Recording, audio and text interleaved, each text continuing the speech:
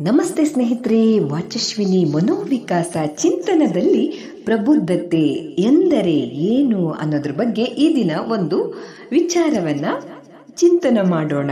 ನೋಡಿ, ಈ ಜ್ಞಾನ ಎಂಬ ದೊಡ್ಡ ವಿಸ್ತಾರವಾದ ಮುಗಿಯದ ಕೈಗೆ ಎಟುಕದ ಪ್ರಪಂಚದಲ್ಲಿ ಪ್ರಬುದ್ಧತೆ ಎಂದರೆ ಏನು ಅಂತ ತಿಳ್ಕೊಳ್ಬೇಕಾಗಿದೆ. ಹೌದಲ್ವಾ? ಅತಿಯಾದ ಹಣವನ್ನ, ಸಂಪತ್ತನ್ನ ಗಳಿಸಿ ಬಹಳ ದೊಡ್ಡ ಅಧಿಕಾರದಲ್ಲಿ ಆಸೀನರಾಗಿ ಜನರಿಂದ ಬಹುಪರ ಹೇಳಿಸಿಕೊಂಡ್ರೆ ಪ್ರಬುದ್ಧತೆನಾ? ದೊಡ್ಡ ದೊಡ್ಡ ಧರ್ಮಗಳ, ಅದರ ಪರಮೋಚ್ಚ ಪದವಿ ಗುರುಪೀಠಾಧಿಪತಿಗಳಾದ್ರೆ ನಾವು ಪ್ರಬುದ್ಧರೇ.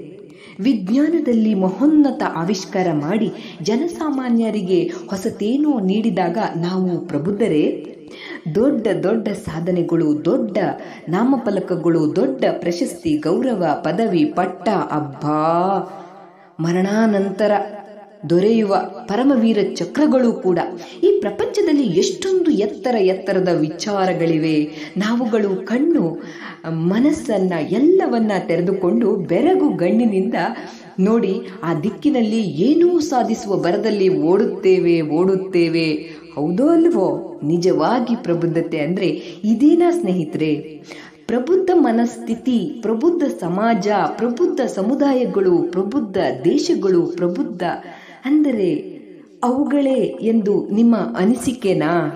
ಸ್ನೇಹಿತರೆ, ಪ್ರಬುದ್ಧತೆ ಎಂದರೆ ನಮ್ಮ ಬದುಕಿನ ಬಗೆಗೆ ಹಾಗೂ ನಮ್ಮ ಪ್ರಪಂಚದ ಬಗೆಗೆ ನಮಗಿರುವ ಸ್ಪಷ್ಟ ಕಲ್ಪನೆ. ಅಷ್ಟೇ, ನಮ್ಮ ಪ್ರಶ್ನೆಗೆ ಸಿಗುವ ಉತ್ತರಗಳೇ ಪ್ರಬುದ್ಧತೆ. ನಾವು ಗುರುವಿನ ಗುಲಾಮರಾಗುವುದು ಕೂಡ ಇದಕ್ಕೆ ನೋಡಿ.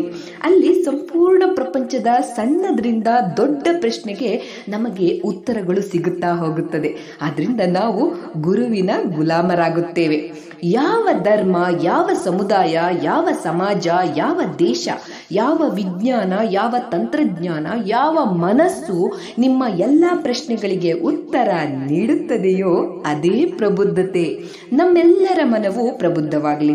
ಪ್ರಶ್ನೆಗಳಾಗೆ ಉಳಿಯುವಂತೆ, ಅದರಲ್ಲೇ ನಾವು ಸಾವು ಕಾಣುವಂತೆ. ಆಗದೆ ಒಂದಿಷ್ಟು ಪ್ರಶ್ನೆಗಳಿಗೆ ಉತ್ತರಗಳನ್ನು ಹುಡುಕಿಕೊಂಡು ನಾವು ನಾವಾಗೆ ಪ್ರಬುದ್ಧರಾಗೋಣವಾ? ಅಥವಾ ಗುರುವಿನ ಗುಲಾಮರಾಗೋಣವಾ? ಆಯ್ಕೆ ನಿಮ್ಮದು. ಧನ್ಯವಾದಗಳು. ಎಲ್ಲರೂ ಪ್ರಬುದ್ಧರಾಗೋಣ.